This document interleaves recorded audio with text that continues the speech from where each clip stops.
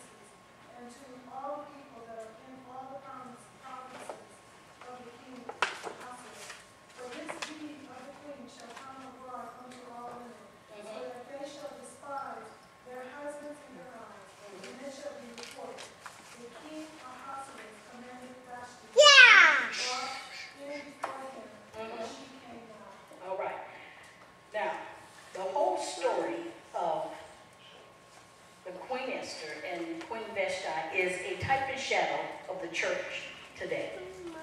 Queen Vashti is a type and shadow of us in the church today. The king Ahasuerus is a type and shadow of Yeshua HaMashiach, the king. The king, because I'm going to paraphrase and make it quick, the king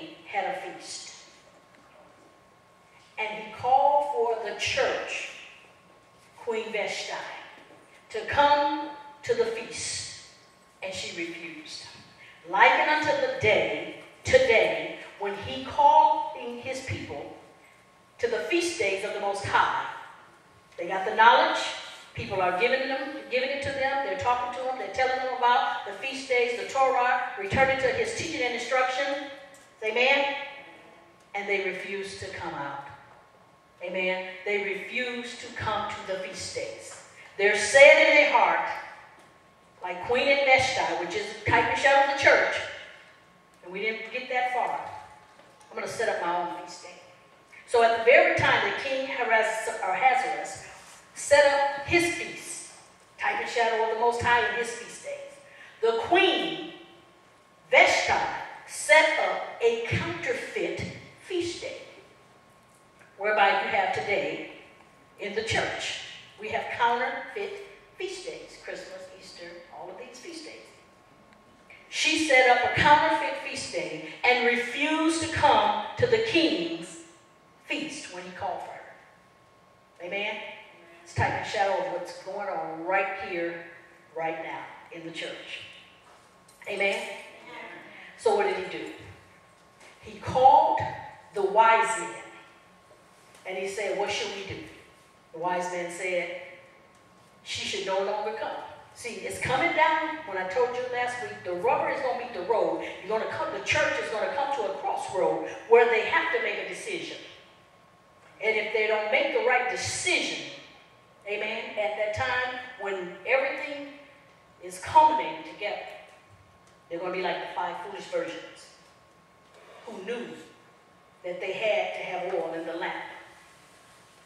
But they went out to meet the bride, the groom, and they didn't have their oil. And they're going to say, let us in, let us in. And the door is going to be closed like on Rosh Yom Kippur when the door closes.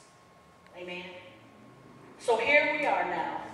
We're in the midst of congregation that he's calling and he's wooing out. And some of us, like us today, we've come out. We are into the feast days. Amen. Preparation period. So what did he do? He went out and he got a bride. Who's the bride? Who's the chosen one? We are. Amen. And he called them to come into 12 months of preparation period, Queen Esther. She came out, she wasn't of influence. She didn't have a mother or a father. She lived with her uncles. He raised her in the ways of the law. She wasn't, they weren't rich people, in other words. They were caught in the midst of captivity when Judah was captive, captive into Babylon. And when they were had an opportunity to go back to the land, they stayed in a type of shadow of Egypt, which was Shushan. That's how they got caught up into the thing that they were in. Because there were opportunity when their captivity was over. You got to read the whole five books of Esther. When captivity was over, Mordecai and his family and some of the Jews was all spread about in the land, didn't go back to the land. Type and shadow of us here today. Everybody will not exodus to the land. Some people will stay here in Shushan, Egypt, Babylon, when that exodus happens. Everybody's not going to go. So when they stayed in the land, they got caught up into what happened with Haman hating the Jews. Amen. So backing it, backing it up a little bit, he switched and called for the chosen queen, Esther. The queen that had already been in preparation, already learned the law, already had been schooled by the Jew Mordecai in the Torah. Went through her 12 months of preparation. How many of you know it was a setup? It was a divine appointment. It was a moedim. Amen. For her to be in the right place at the right time to save her whole group of people. Amen. So he calls for the new queen. Now the new we got a new queen, Esther. Vashti, she missed out.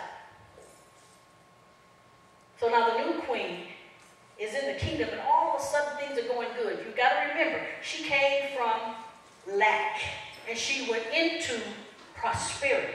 How many of you know we come from lack? We're moving into prosperity. Amen. You got to understand this. You got to know this about yourself. Amen. And so now all of a sudden, it's in the, I think it may be in the third chapter of, of Esther. Here comes our enemy. The enemy of the Jewish people. According to the Bible. I would dare to say the Hebrew people. Amen. Haman, Hamas. They come to destroy the plan of the Most High. Amen. What did Haman say? There's a people spread abroad that not, do not keep your ways and your laws, but they have their own laws. There's not likened unto your laws, King. What can we do with these people? What would you suggest we do? I suggest that we, you know, hang them, take all their goods, take all their money, get all their silver, wipe them out. That was the plan. Amen. But when you go ahead and read on, but God had a plan. It was a divine setup, just like right now today, saints, we are sitting in the divine setup. He is moving us into the kingdom of prosperity, into his kingdom. We've already, we, we're already moving in there. The kingdom means God's movement on the earth. The kingdom is in us. And we're moving on the earth. Amen. The kingdom is moving through us. Amen. And so now you see the enemy comes. As soon as you get a blessing, and it's just like us today. He tries to bless you, and before you can even recognize and thank you and say Todah Yah, here comes the enemy. And all of a sudden now, we're not looking at the blessing, we're looking at the enemy. Mordecai, something fell in him. He stood at the gate, he wouldn't even bow to Haman. Every day he stood there, wouldn't bow, refused to bow. But all of a sudden, when the decree went out from the king, because when the king makes a decree, it cannot be changed. So the decree went out from the king that says Haman can do whatever he wants to. He kill him, you know, he can, you know, take their silver, whatever. So that decree went out, and Mordecai got the decree, and something fell in him. Ashes and sackcloth. He's mourning. All the Jews throughout the province is mourning. Y'all got to read the whole story. They're all mourning because now, on a certain day, at a certain time, they're going to be annihilated. Finally, Queen Esther gets wind of it and she says, What is it? Why is Mordecai mourning and ashes and sackcloth and no clothes? She sends him some clothes. He refused them. He refused them. Then he told her, he, he sent a message to her and told her, You need to go to the king. And how many of you know that maybe, he told her, you were brought to the kingdom for such a time as this. Not to keep quiet. That's what we are, saints of God. See, sometimes we really want to keep quiet. My boys stay on me about, just, just give it to him, just give it to him, just give it to him. Amen. But me, I want to kind of ease it in on him. Amen. But Mordecai said to Esther, how do you know that you have been brought into this kingdom for such a time as this. And don't think for one minute, if you don't go to the king on our behalf, that you're going to be saved. Because you and your house will perish, and he will raise up someone else to take your place. We can't keep quiet. We got to get this word out. We got to give the message. So she said,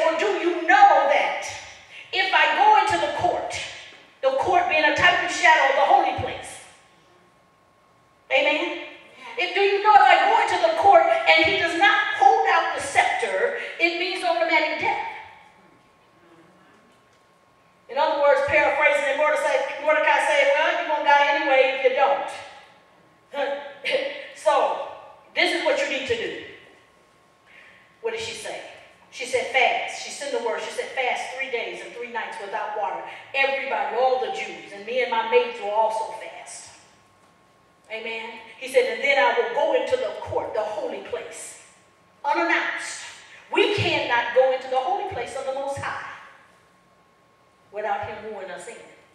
The holy place, the outer court, and the holy of holies. Amen. And so she went in to the outer court and he bade her to come in. She found favor with the king. Y'all know the story. Amen? Amen. Amen. She found favor with the king and the king, she set up the dinner and everything and all of long story short, everything backfired on Haman. He had 10 gallows set up, representing the 10 tribes. He had 10 sons. Always a counterfeit, saints of God. There's always a counterfeit to whatever the Most High is doing. There's always a counterfeit. Amen? Bottom line, his 10 sons and him, they were all hung on those gallows that they had set up to hang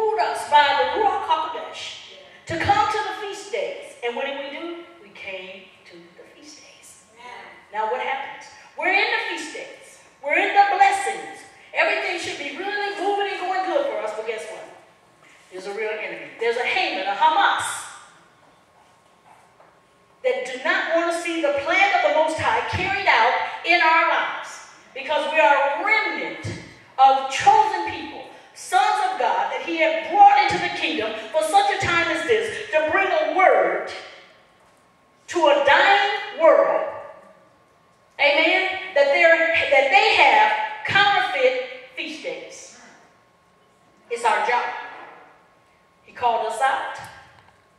And he said, now, what did, what did Mordecai tell her? Don't be quiet now.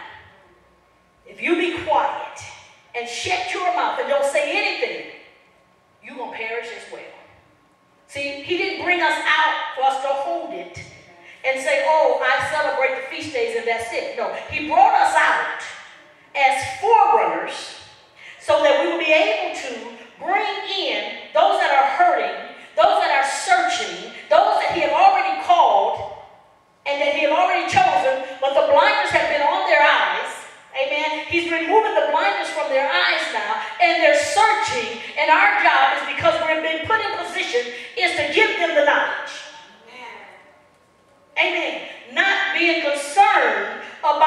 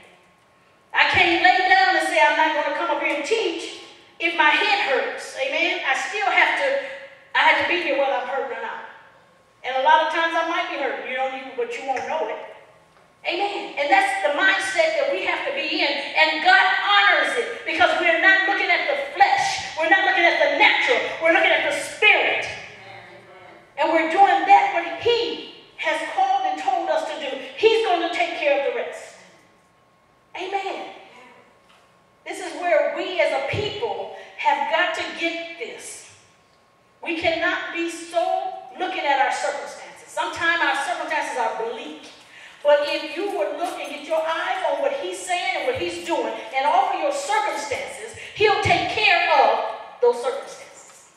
I never look at circumstances, saints. Because circumstances are designed to depress you. That is not the will of the Most High for your life. It is designed to keep you in oppression, circumstances. If you cannot do anything about your circumstances, then don't worry about your circumstances. Give them to Him. He said, Cast your cares upon me because I care for you.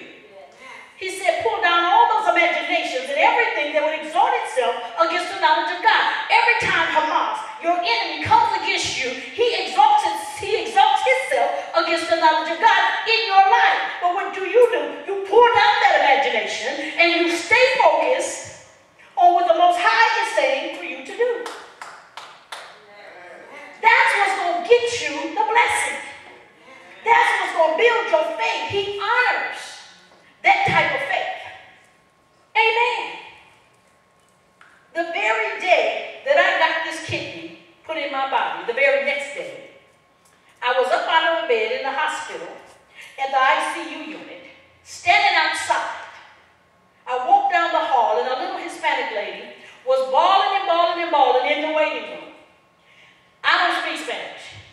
But I go in there to talk to her and I say, you know, you have someone in the ICU unit. She don't, she can't understand me, I can't understand her. But what she understood was pray. So I said, can I pray? And she said, see, see. So now I just had a major surgery. I'm cut from here to here. But I'm up on my feet in a waiting room praying for somebody whose loved one was in ICU unit and they didn't think the guy was going to make it. Her son or her husband, I can't remember which one it was. But I stood there and I prayed for this lady's son or husband. And, and I went on by my way down to the ICU unit. I stood outside the ICU unit, sit on the windowsill in a hospital gown. And everybody that came out of the ICU unit, I said, do you have someone in there that's sick or hurting? You, can I pray for you? Can I pray for your loved ones? Everybody that came out, and I stopped, and they said, oh, yes, because everybody wants to pray. And everybody, I stood there and prayed for their relatives in the ICU unit. When I got back around to the little Hispanic lady, she grabbed me and hugged me because whatever, what the pro- whatever the problem was, that short amount of time, not looking at my own circumstances, not looking at is this kidney going to actually take or reject. I mean, you know, they put one in your body, don't mean your body has to accept it. Not looking at my circumstances, but over here looking at uh, looking at somebody else's need and praying for someone else's need. God honored that and touched her son. She hugged me. She was pray, laughing and crying. Amen. And I knew just spirit to spirit God touched them and set that person free. You see, we not we can't get time to look at the fleshly things that's going on in our bodies and put aside the things of the Most High. He'll honor you if you do His bidding. Amen. Amen. How many of you would have done something like that? Amen. Just set your stuff aside, your stuff, and walk down there and pray for everybody else. You see, but that is because of the Ruach HaKodesh. He's got to live big on the inside of you. And he got to keep you focused right on the straight. You can't go to the left and right. You can't look at this stuff. Amen. Five years on dialysis, I never once looked at what was, what was really going on in my life. Because had I looked at my situation and my circumstances every day, three days a week, for four hours on a machine, it would have depressed me. Half the people in the dialysis center was depressed and oppressed and on medication for, you know, depression.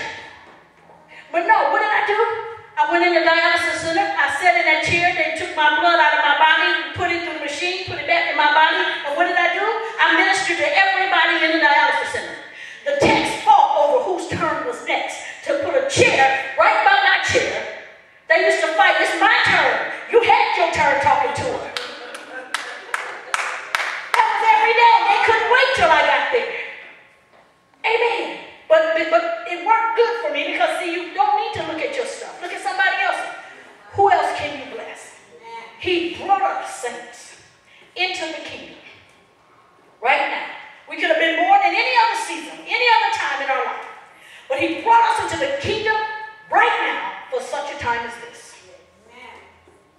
It's a blessed time. We don't even have half of a clue of what he's getting ready to do.